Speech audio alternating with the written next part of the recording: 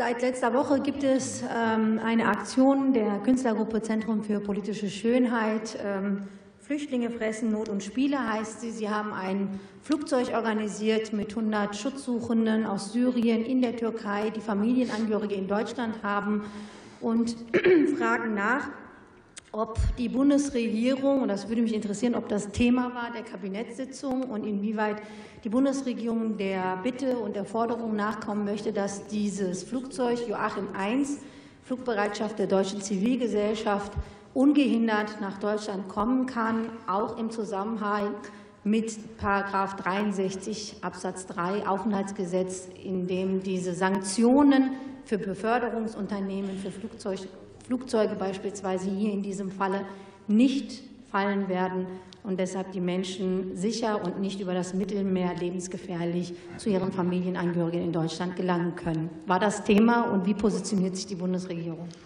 Frau Kollegin, das war nicht Thema der Kabinettssitzung. Die Bundesregierung ist aber prinzipiell der Auffassung, dass eine Einreise in die Bundesrepublik Deutschland äh, mit den notwendigen Erlaubnissen über die deutschen Konsulate erfolgen sollte.